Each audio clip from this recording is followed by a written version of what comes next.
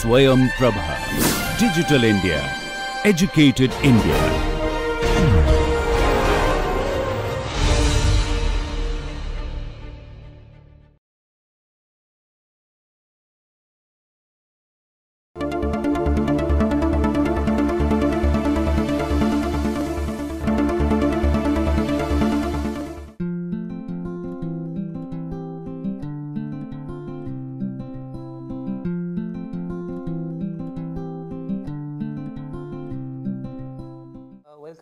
Lecture 9 of module 3 of the course called game theory and economics. Uh, so far what we have do- been do- doing is that we have been taking up several applications of uh, the idea of Nash equilibrium uh, and uh, what we have uh, done so far are the cases uh, of Cournot equilibrium, Bertrand equilibrium and electoral competition. Today we shall look into another separate field of application of Nash equilibrium which is known as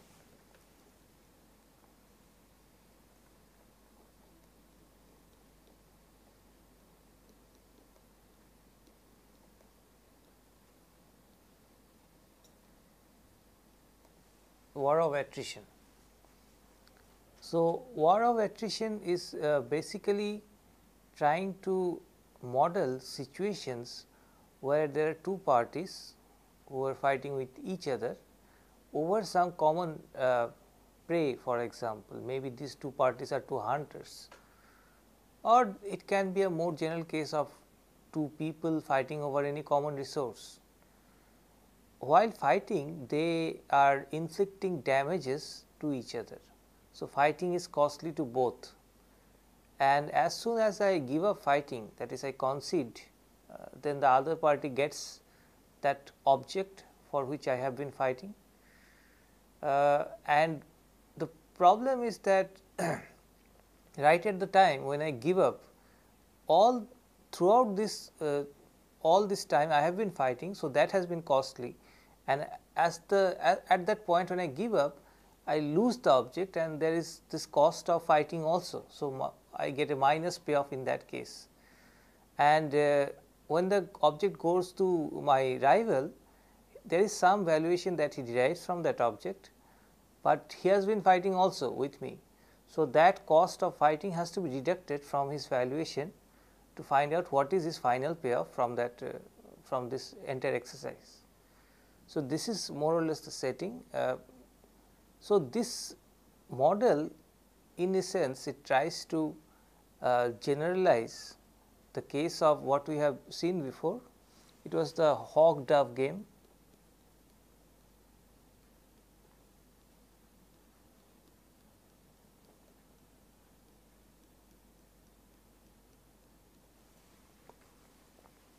So, in hawk dove game there were two parties who are fighting over some object and each party can uh, take two sorts of action. It can be aggressive or it can be uh, passive and depending on the aggression and pa passivity their uh, payoffs are determined.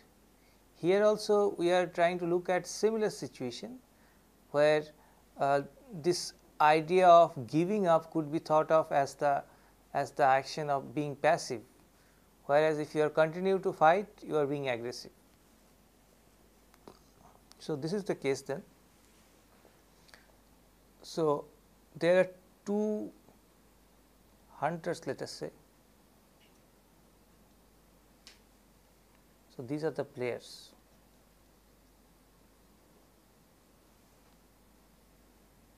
Actions, what are they choosing here? They are choosing at what point of time they are going to concede.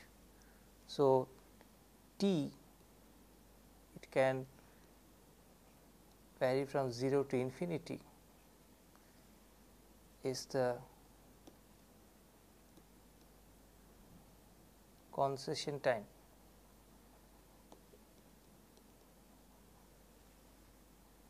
which a player chooses.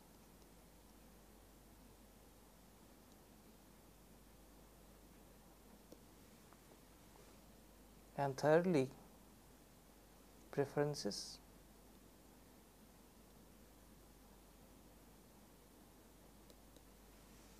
this is given by the following uh, payoff function.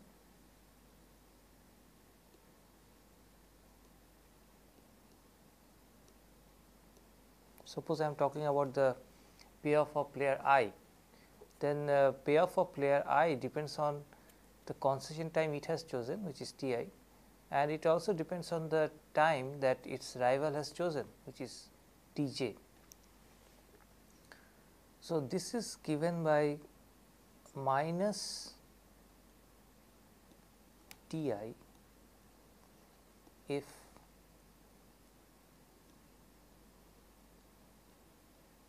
T i is less than T j, which means if I uh, is the player which gives up first, which concedes first, then whatever time it has chosen to fight, which is T i, is uh, just the total loss, this T i is the total loss that it is accruing and that is why minus T i is the payoff that it is getting. By the way, in this model, we are going to represent this time uh, in the same unit as the valuation of the object. So, one can think that uh, that one minute that I uh, keep on fighting with my rival is worth 1 rupee uh, and rupee is the unit with which I try to denote the value of that object also. What happens if the time that I am devoting to fight is same as the time that he is my rival is devoting to fight. So, if T i is equal to T j then what happens? At that time uh, in that case uh, there is a possibility of half that I will get the object. It is not sure that I will get the object because he has also given the same amount of time in fighting with me. So, in that case I get half of Vi. Vi is how I value the object. Uh, so, V i this index of i is coming because the valuation of the object can vary from person to person. How I value the object might be different from how my rival values the object. So, V i is different from V j in general.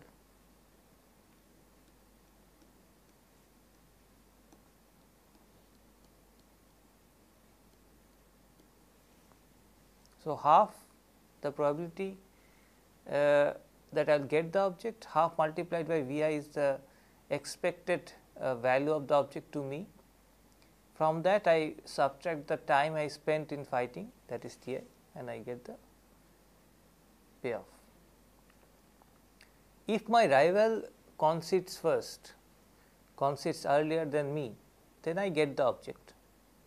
So, I get V i minus the time that he has spent in fighting with me because right at the time when he is giving up I am getting the object. So, when he is giving up he has fought for T j units of time and that is the amount of time I also devoted in fighting with him. So, that is the time that is the uh, that is the time that value of which I have to deduct from the valuation of the object. So, that is what I am doing here V i minus T j. If T i is greater than T j. So, this is how the payoff functions of both the players look like. If i is equal to 1, j is equal to 2. If i is equal to 2, j is equal to 1.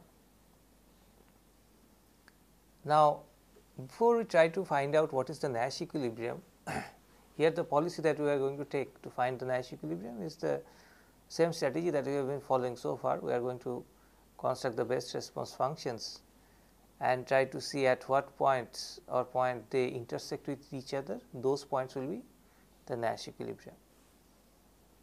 Now, before we try to find out what are the best response functions of these two players, let us try to figure out what is going on here. Now, obviously, my payoff from fighting from this war is dependent on the time that he that is my rival is spending in fighting with me. Now, if I know that my rival is going to spend not a long time, very short period of time to fight with me, uh, in that case it is worthwhile for me to see him off, to fight with him, uh, because I know that he is going to give up after a brief period of time. Uh, so, if I devote that time in fighting with him, I will get the object and if the valuation of the object is quite a bit, then I am getting some positive payoff out of the, this fighting. So, what becomes important is how T 2 is if I am the player 1 how T 2 is compared to my valuation that is V 1. So, that is becoming crucial is T 2 greater than V 1 or is T 2 less than V 1. If T 2 is less than V 1 then it is worthwhile for me to fight. On the other hand if T 2 is very high suppose in that case it might be greater than V 1 also. If it is greater than V 1 then it is no way uh, worthwhile for me to fight with him because longer I fight the more costly it is for me and so uh, in that case I should give up immediately I should not fight. So, this these are the these are the basic ideas which will influence the result of this model. Let us try to look at it uh, in a more systematic way. I can draw the following diagrams.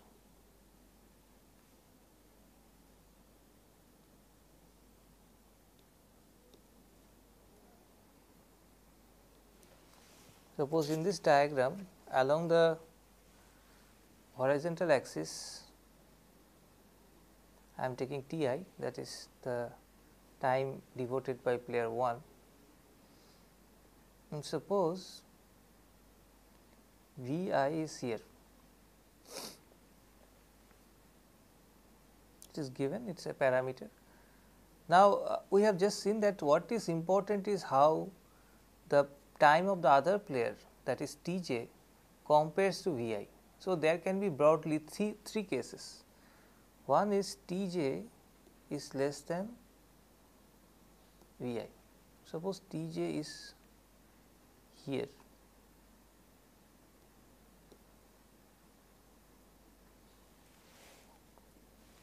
Now, depending on different values of T i, there will be different values for the payoff. If T i is somewhere in this range, is less than T j, then I know the payoff is going to be represented by a 45 degree line, this angle is 45 degree except for the point here. So, this point is not included. If T i is just equal to T j, the player gets half of V i minus T j. So, half of V i is somewhere here minus T j. So, it is negative. This is what the player gets.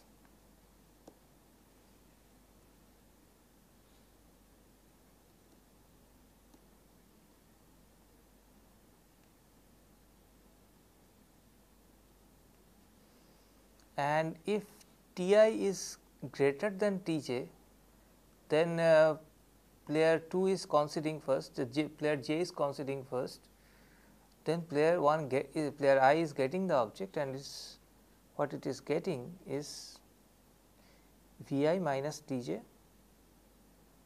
and V i minus T j remains as it is as T i goes on rising.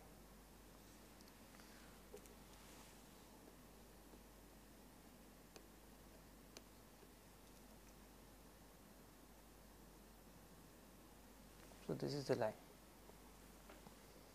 Now, one thing which uh, should be clear from this is that uh, once my rival is giving up and I am getting the object, it does not matter how much t I had committed in the beginning. So, even if t is very high, it is not affecting my payoff as long as t j is here in this which is less than v i and as long as my T i is greater than uh, his T j. Now, if this is the situation then what is the optimal time that player I shall devote in fighting this war. So, every player I know is going to maximize the payoff. Here the maximum value of the payoff function is occurring when T i is strictly greater than T j. In that case, uh, this is the value of the payoff which is positive and this cannot be bettered. So, that is what the best response function of i should look like. Uh, if T j is less than V i, then T i should be strictly greater than T j. This is what we are going to write down a little, little bit later.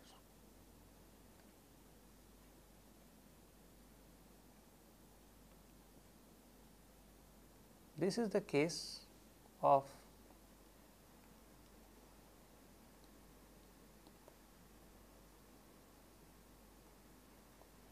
V i equaling T j. So, like before we have this 45 degree line except this point at this point he is getting half V i minus T j. So, this is the point which is representing his payoff if T i is equal to T j and if uh, T i is greater than T j uh, then his payoff is V i minus T j which is 0. So, it is coinciding with this axis. Here also uh, and this point is not included, this point is not included. uh, here also the aim of the player i is to maximize the payoff. Now, if he wants to maximize the payoff, the maximum payoff that he can get is 0, otherwise it is negative. And 0 is obtained in two cases. Uh, one is that T i is equal to 0, this point origin or if T i is strictly greater than T j. In that case also he is coinciding payoff function is coinciding with the horizontal axis and the player is getting 0.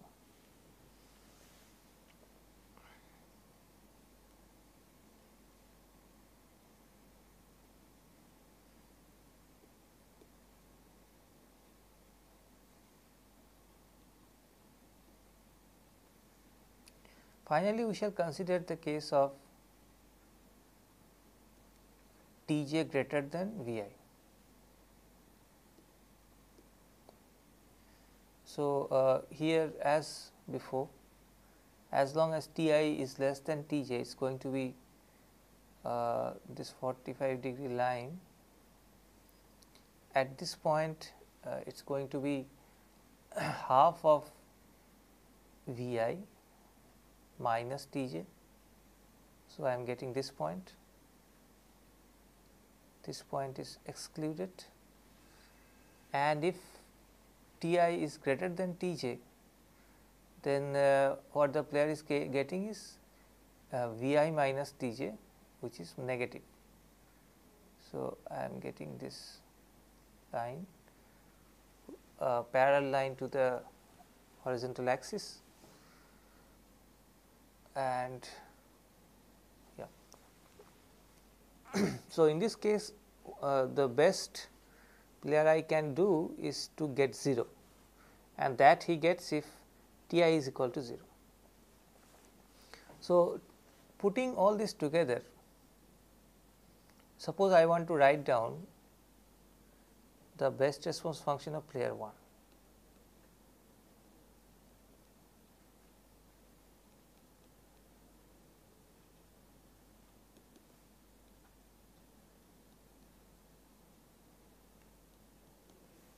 T i.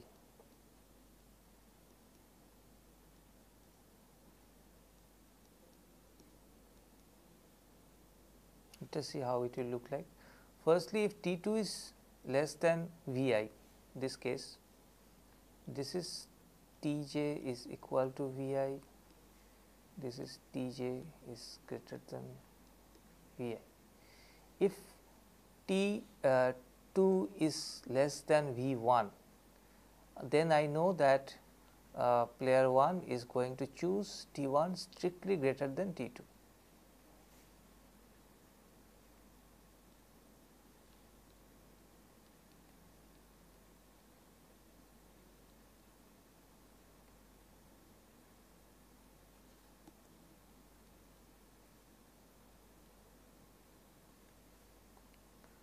Secondly, let us take the second case.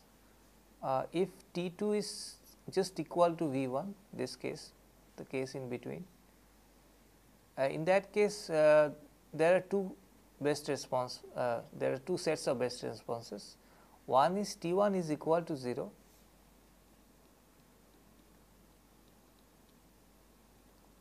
or T 1 is strictly greater than T j, T 2. So, this is the range that I am talking about or strictly greater than T 2 if T 2 is equal to V 1.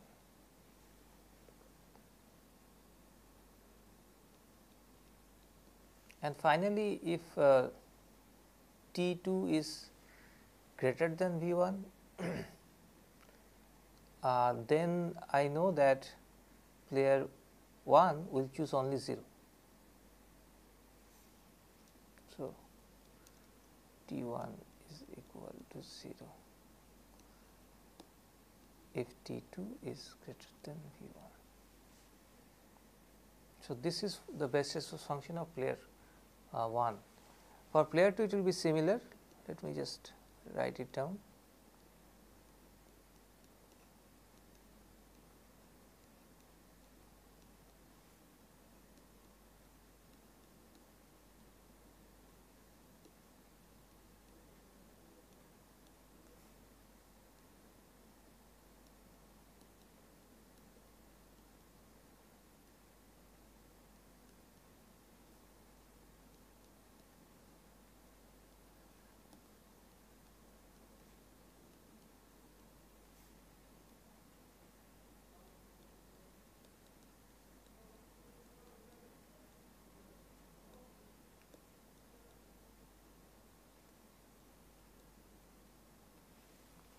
Okay.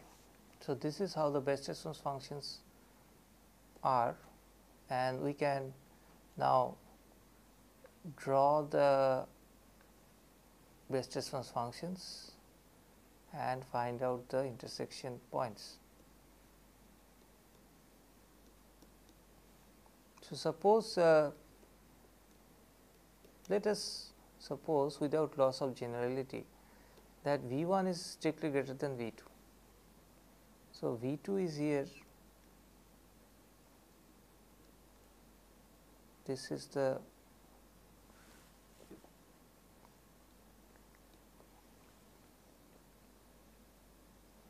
and V 1 is here suppose.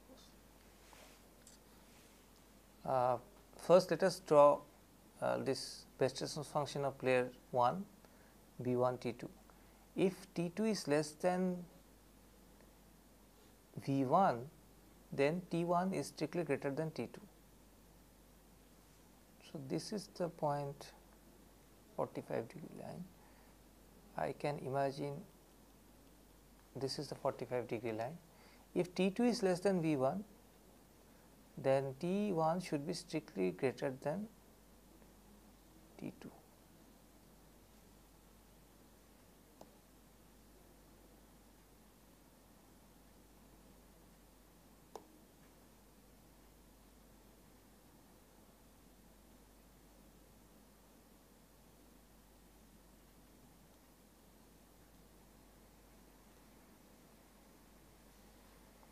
Now, this point is not included because T 1 has to be strictly greater than T 2 and if T 2 is equal to V 1,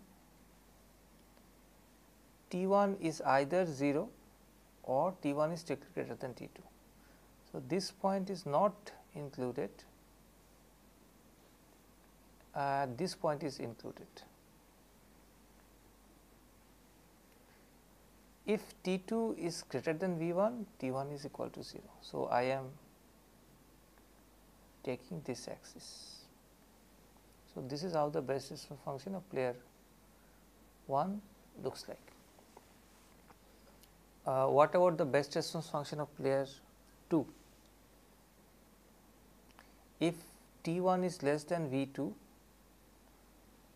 T 1 is less than V 2, I am talking about this, then T 2 is strictly greater than T 1. So,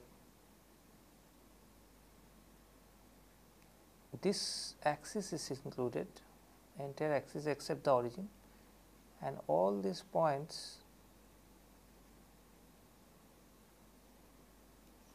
are included. The points on the 45 degree are not included. If T 1 is equal to V 2, then either T 2 is equal to 0. So, this point or T 2 is strictly greater than T 1. So, this line is included. If T 1 is greater than uh, V 2, then T 2 is equal to 0. So, this axis itself.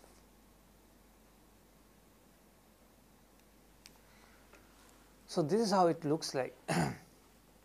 now, putting these things two things together what we have uh, found is the Nash equilibria uh, or the points where the two best response functions are overlapping with, with each other are occurring in this part that is in V 2 and greater than V 2 if T 1 is equal to V 2 or greater than V 2 and T 2 is equal to 0 or in this part that is uh, T 1 is equal to 0, T 2 is equal to V 1 or greater than V 1.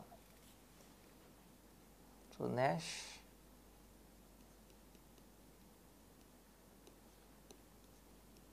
equilibria T 1 is equal to 0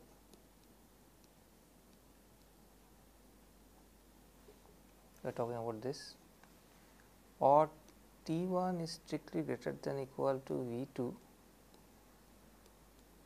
T 2 is equal to 0. So, there are two sets of Nash equilibria. In particular, there are infinite number of Nash equilibria. now, this is the result, but what does it mean? What is the intuition?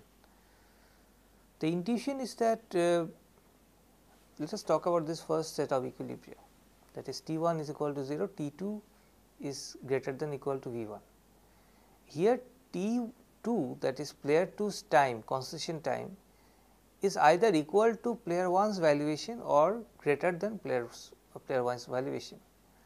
Now, in this case obviously if player 1 wants to fight with player 2 either he will get 0 uh, because if T 1 if T 2 is equal to V 1 and T 1 is also equal to V 1 uh, uh, then in fact player 1 will get negative payoff. So, there is no way he can get a 0 payoff either. If T 2 is greater than V 1 uh, player 1 can fight with player 2 and can win the object, but its payoff is going to be negative because V 1 minus T 2 is going to be negative. So, by deviating by choosing any positive time uh, player 1 can only be worse off. So, that is why he is sticking to 0. From player 2's point of view also uh, it is not worthwhile to do something else uh, because here what is the payoff of player 2? Player 2's payoff is uh, in this Nash equilibrium it is getting V 2 minus T j which is T 1 which is equal to V 2 because T 1 is equal to 0. So, player 2 is getting the entire value of the object, he is not losing anything and so this is the best thing he can do, he cannot deviate and be better off. So, that is why this is a Nash equilibrium for from uh, both sides. say by similar logic this is also a Nash equilibrium. In the second case it is player 1 who is getting the object, player 2 is not getting the object. So, that is how uh, it is. Now,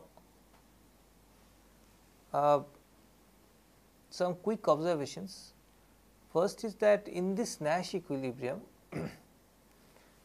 uh, there is no fight in equilibrium because you see one of the players is always giving up in the beginning itself, he is not fighting. The other player uh, is announcing some fighting time, but since the other player the, the first player is not fighting which in fact means that uh, in the equilibrium there is no fight. Secondly, who obtains the object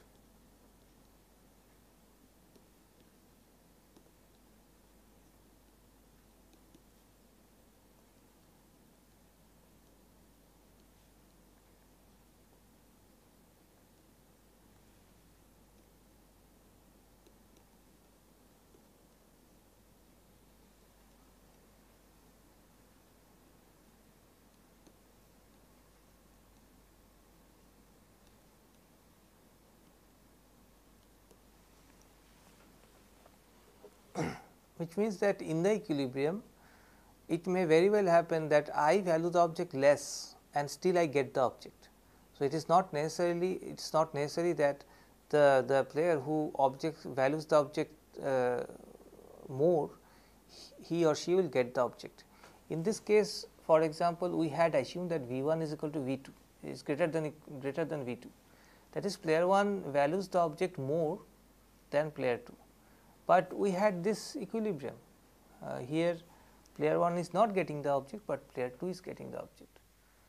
Uh, so, it means that even if you value the object less, uh, you might still get the object. And finally,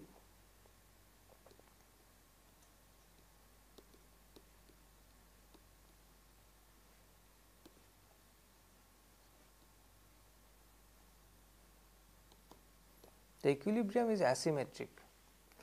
Uh, if one remembers the definition of uh, symmetric game and symmetric equilibrium, uh, if we make this game into a symmetric game by assuming V 1 is equal to V 2,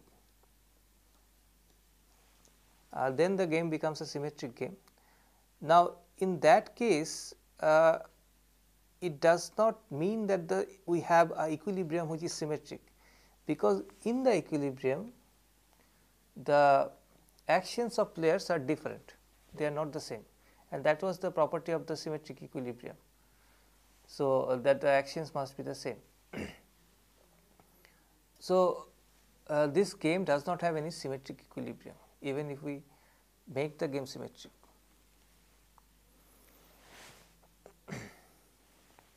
now, on this uh, idea of war of attrition, we can look some other aspects of this war of attrition.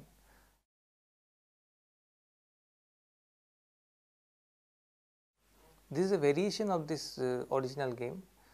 Each player attaches no value to the time spent waiting for the other player to concede, but the object in dispute loses value as time passes.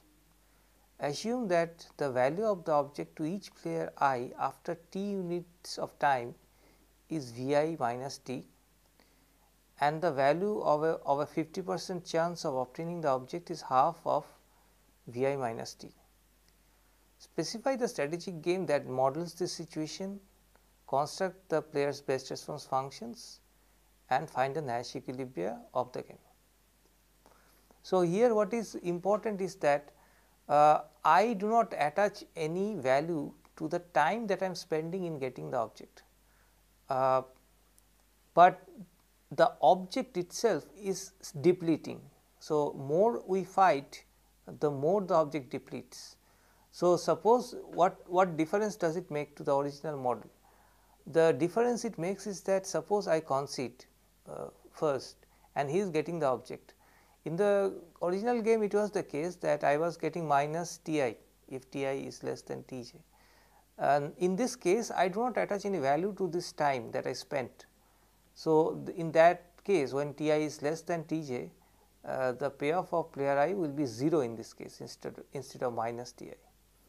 And second difference that we are seeing here is uh, there is uh, if the, the, the, the, two players are conceding at the same point of time then each is uh, getting half of Vi minus T. So, that is also something different in the previous case we had half of Vi uh, then minus uh, Ti if Ti and uh, Tj are equal. Okay, so this is an exercise uh, about war of attrition. Let me first uh, write down the exercise, the question of the exercise and then we shall try to solve it.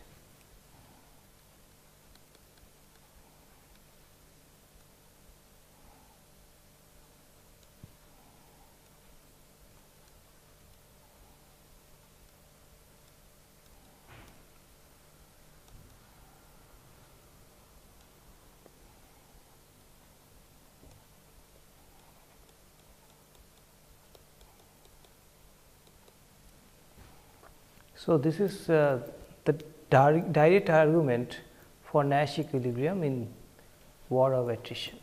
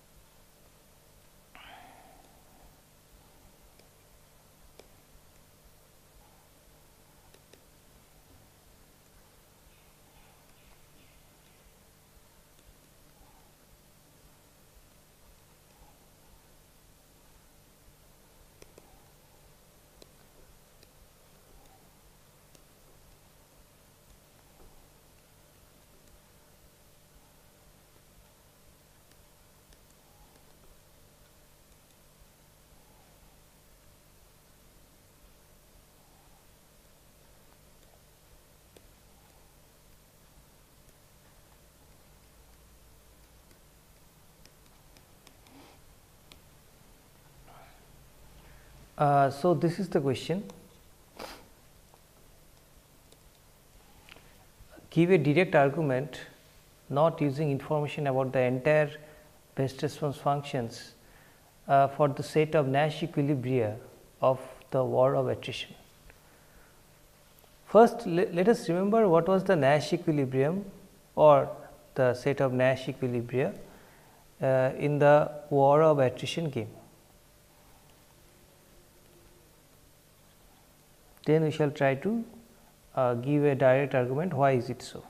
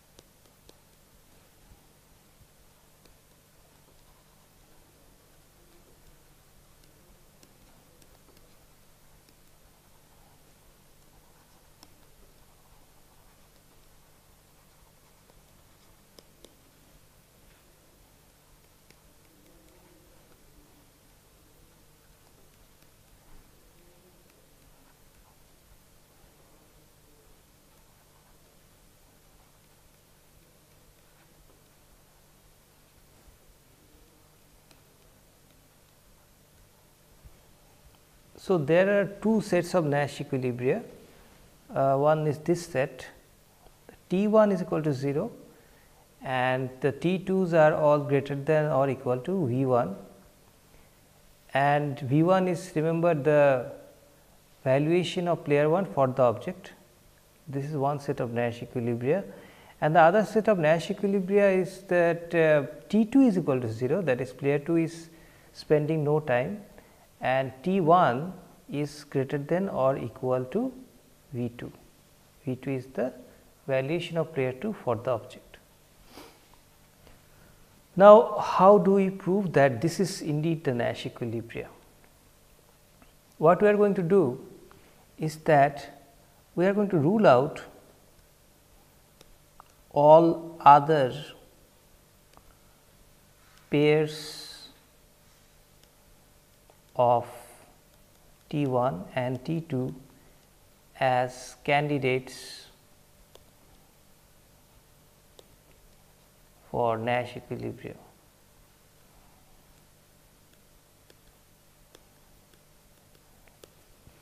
Okay. So, what is the complementary set or what are the other possibilities? Other pairs of T 1, T 2 could be the following cases. Case 1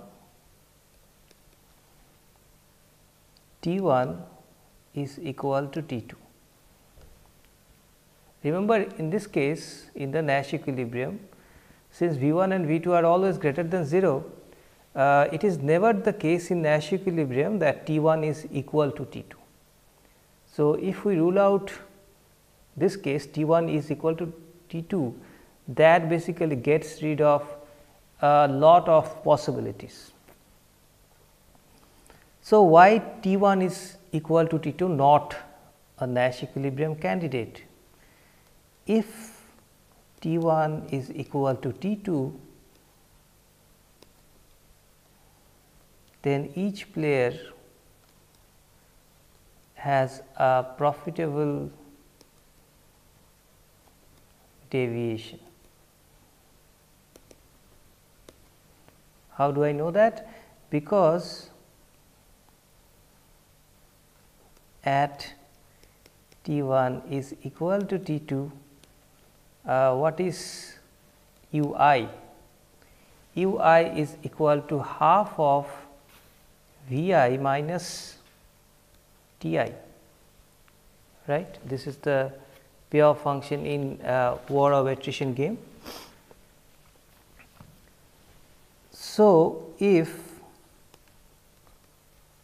player i, i can be uh, 1 or 2 uh, increases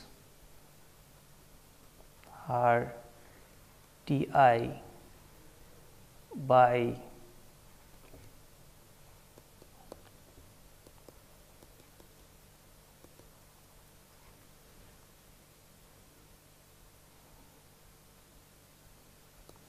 by infinitesimal small amount then her payoff becomes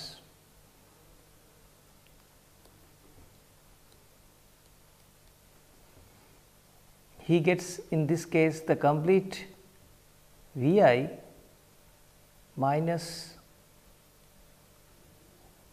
T j which is a time spent by j. Now, remember uh, between 1 and 2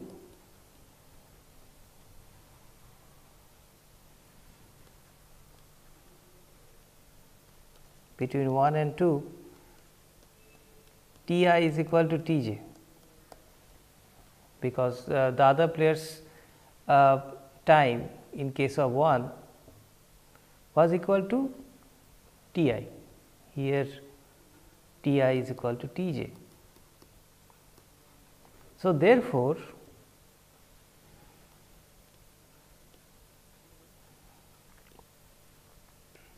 into i's payoff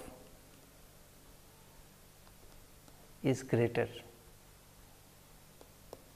Thus, there is a profitable deviation. So, T 1 is equal to T 2 is not Nash equilibrium.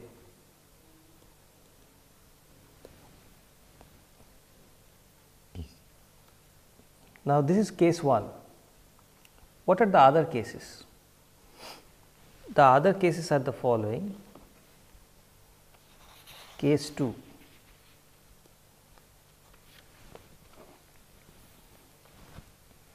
Let us suppose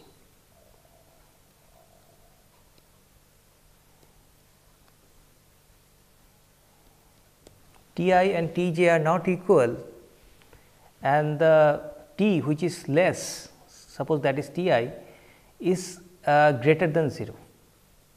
So, this is so this is one possibility that T and T j are not equal, but the lower T is still greater than 0. Remember this is ruled out in the this is not the case in Nash equilibrium because in the Nash equilibrium the lower T is always equal to 0. Now, can this be a Nash equilibrium? This cannot be a Nash equilibrium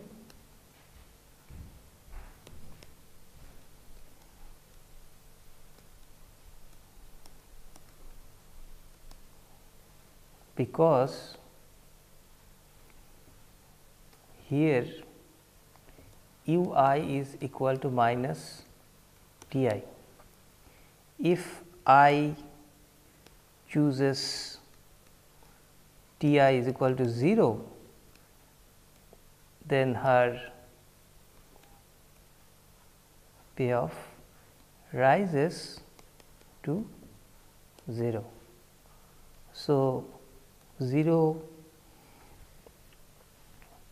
less than T i less than T j cannot be a Nash equilibrium.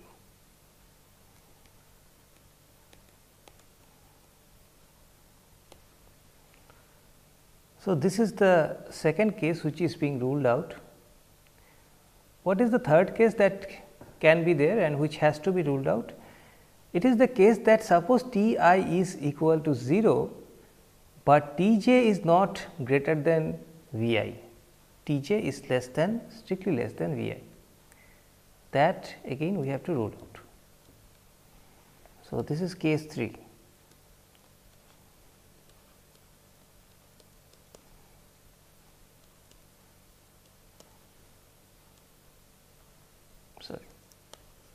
This is just equal to T i and this is less than V i. All right. Now, why this is not a Nash equilibrium? This is not a Nash equilibrium because what is player i getting here?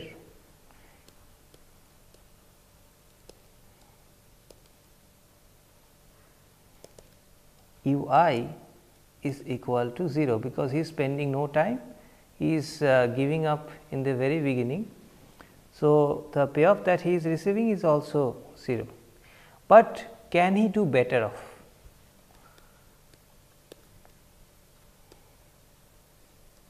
But he can choose T i strictly greater than T j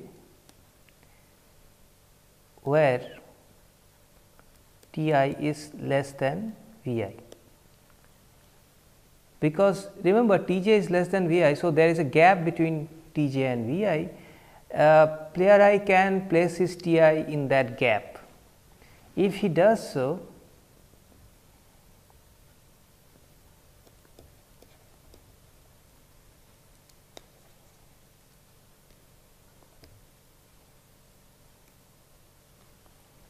his payoff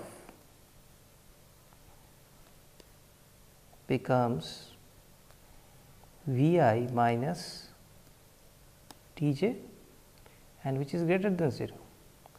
Therefore, he has a profitable deviation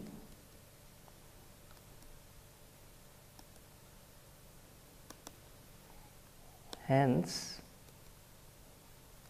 0 equal to T i strictly less than T j less V i cannot be a Nash equilibrium or let us say cannot be Nash equilibria because here there are many possibilities are there. All right. So, the only possibility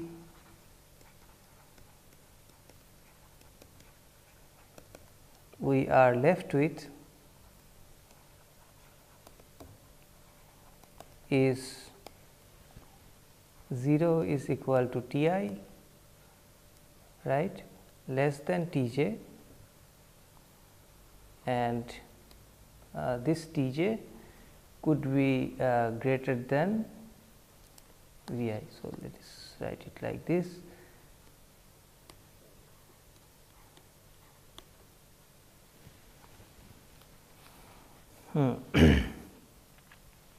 okay. So, this is the only possibility that we are left with. Uh, this is a Nash equilibrium. Why this is a Nash equilibrium?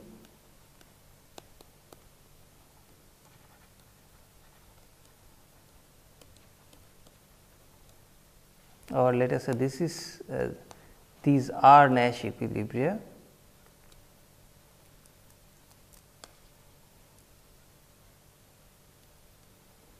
Because no player can deviate and better be better off. Player J is getting the maximum that he can get. So, there is no possibility of improving his payoff. Player I also cannot deviate and be better off because the other players T is greater than uh, his valuation.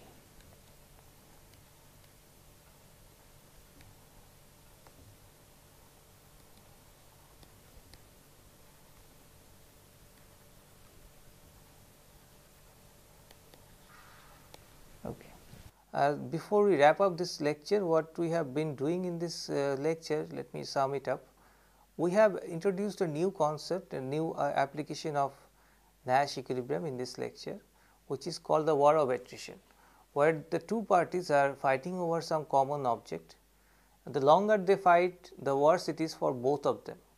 And uh, if uh, the players think that uh, by out, but by fighting more, fighting for a longer time, they can get the object uh, so that is what they are trying to do they are going, going to get they are trying to get as much payoff from the uh, from this fight as possible.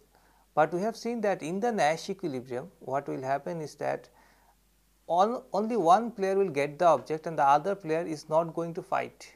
So, in the equilibrium there is not going to be any fight either player 1 gets the object, object or the player 2 gets the object. Uh, the player which is who is not getting the object is going to concede immediately, he is not going to fight. And this is a case where the equilibrium is asymmetric in the sense that uh, the time that players uh, say that they are going to fight uh, for in the in the equilibrium they are going to be different. Uh, so, that is the conclusion of this model. We have uh, considered one variation of the model and we have seen that in that variation also the, the, the equilibrium is such that only one player is getting the object and the uh, equilibrium is asymmetric in the sense that the times are different. Thank you. Briefly describe the war of attrition game. So, let us describe the war of attrition game.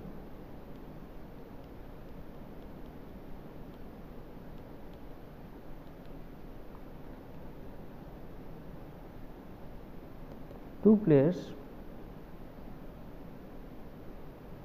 actions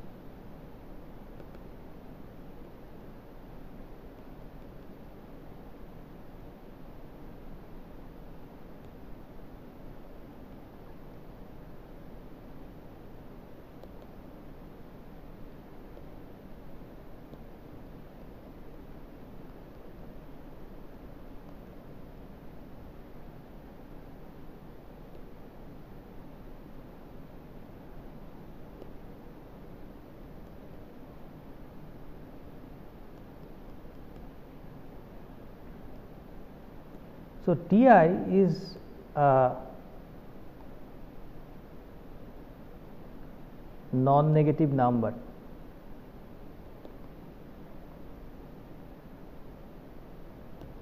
Each player is choosing a T i and this is what is known as a concession time, the time at which you are conceding the game to the others. In effect, the game uh, is a waiting game two players are waiting for the other to concede, for the other player to concede. Uh, if any player concedes earlier than his rival, then that player loses the object. There is an object uh, thereafter. If I concede before my competitor, the object goes to the other player and while I was waiting for this object, uh, I was incurring some cost also. So, the preferences can be written by this.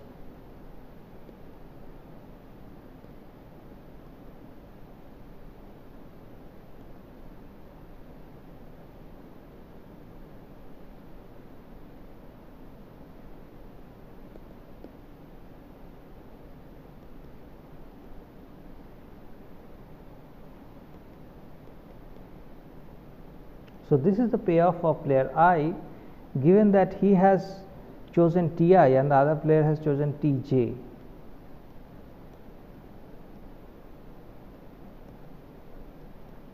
So, if he concedes earlier, uh, but he has already waited for Ti amount of time and that is costly. So, he loses uh, this amount of time which is minus Ti.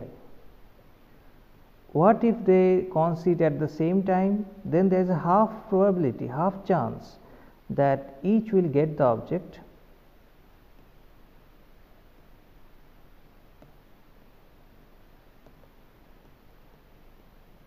So, in this case if Ti is equal to Tj with half probability I will get the object all right and the valuation of the object to player i is given by Vi. So, half Vi minus Ti the time that has been spent in waiting and this is equal to Vi minus Tj if Ti is greater than Tj. So, if I have waited for more uh, for a longer time than my competitor then I get Vi minus Tj, Tj is the time at which my competitor gives up. What are the Nash equilibria in the war of attrition game? What are its properties? So, Nash equilibrium in war of attrition game is given by the following there are infinite Nash equilibrium. One set of Nash equilibria is given by this and the other set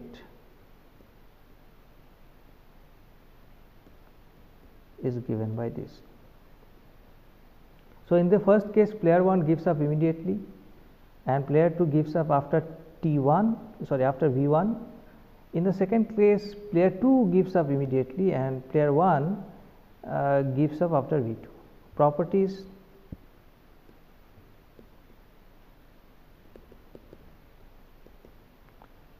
uh, there is no fight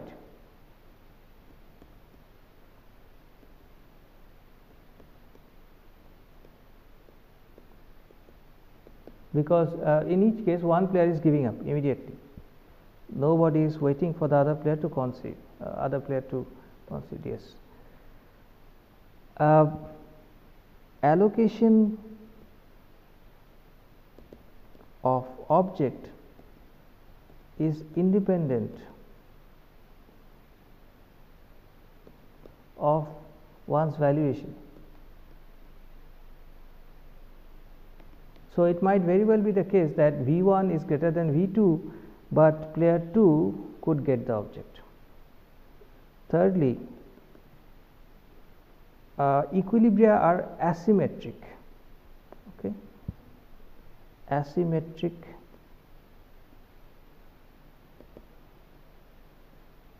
equilibria. In the sense, this is not the strict definition of uh, you know symmetric equilibrium and asymmetric equilibrium. Uh, what we mean is that in equilibrium uh, the times are different and this uh, property of a non-equal time will hold even if we make the game sort of symmetric by assuming V 1 is equal to V 2 even if the valuation of the first player is equal to the valuation of the second player in equilibrium uh, uh, there will be no such outcome where T 1 is equal to T 2. So, these are the uh, answers to the exercise.